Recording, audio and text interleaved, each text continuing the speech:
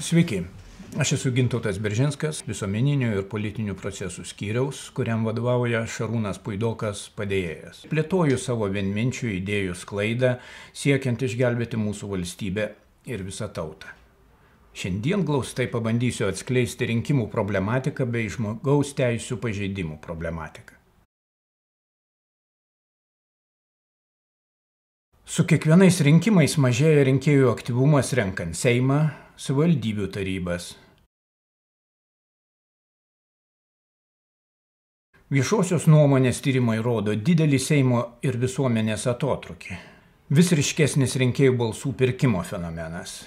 Rinkiminės kampanijos reikalauja vis daugiau pinigų ir viešųjų ryšių paslaugų, nustumdamos į antrą planą demokratiniai visuomeniai taip reikalingų vertybių propagavimą, socialinių, ekonominių, politinių programų skirtumų išryškinimą.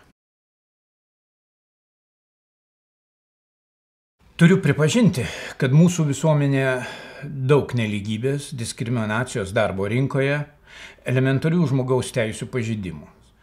Tačiau demokratinis piliečių teisų mechanizmas veikia, na, neįtin gerai.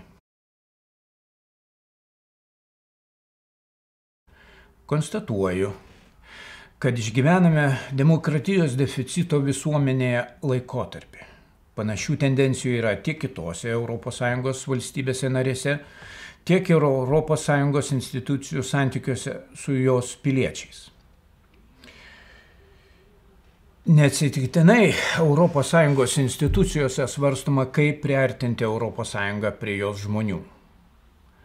Lietuvoje irgi kyla klausimas, kaip ES ir Lietuvos institucijos priartinti prie mūsų rinkėjų. Europos komisija svarsto įvairias galimybės, kviečia analizuoti jos pateiktas nuostatas, kitus direktyvų punktus.